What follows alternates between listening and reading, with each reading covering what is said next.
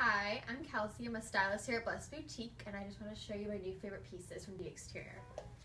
So my first favorite piece is this reversible skirt, and you can flip it inside out. So you have a like a more neutral color for the day, and then a really fun sparkly color by night. And it would look awesome with this new cardigan that we have. Favorite piece in the collection is this amazing biker jacket. So it's vegan leather and it's actually machine washable. And it goes with these fun little riding pants. And then another piece that I really, really love is this little silk top. So it's very lightweight, great for Florida. And I would totally pair that with my next favorite piece, which are these pants, which you can just wear to work or out to dinner. And then with a little cute blazer over, just make it perfect.